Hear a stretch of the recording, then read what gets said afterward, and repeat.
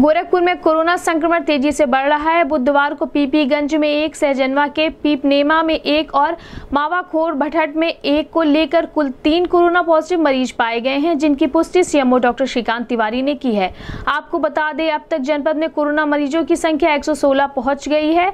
मरने वालों की संख्या सात है। सीएमओ डॉक्टर श्रीकांत तिवारी से मिली जानकारी के अनुसार सोमवार को अड़तालीस टेस्ट हुए हैं, जिसमें तीन कोरोना पॉजिटिव मरीज़ पाए गए हैं। गोरखपुर में एक कोरोना कोरोना मरीज़ हो गए हैं, जिसमें 29 डिस्चार्ज हो गए हैं। ज़िले में कोरोना एक्टिव केसों की संख्या इक्यासी हो गई है।